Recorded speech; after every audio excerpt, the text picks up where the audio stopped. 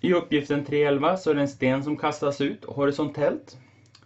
Och man vill veta var någonstans stenen befinner sig när tiden är en sekund och tiden är två sekunder.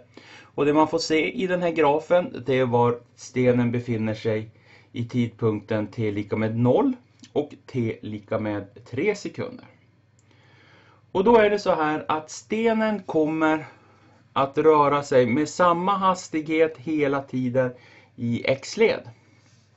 Och det betyder att efter 3 sekunder så har den hunnit 1, 2, 3, 4, 5, 6 stycken rutor. Så det betyder att hastigheten i x-led är 2 rutor per sekund. Så efter en sekund så har den här stenen förflyttat sig två rutor i x-led.